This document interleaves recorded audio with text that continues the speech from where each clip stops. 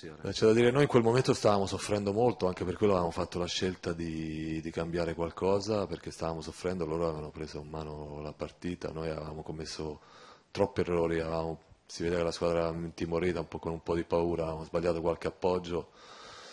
e avevamo deciso di cambiare. Insomma, è chiaro che l'espulsione di Conti è stata, è stata importante, eh, sì, avrebbero potuto pareggiare. Noi abbiamo fatto quella mossa per cercare di coprirci e convinti che le cose potessero migliorare, però non abbiamo la controprova, poi Conti si è, si è fatto buttare fuori, insomma le cose sono migliorate di per sé giocando 11 contro 10. Ah,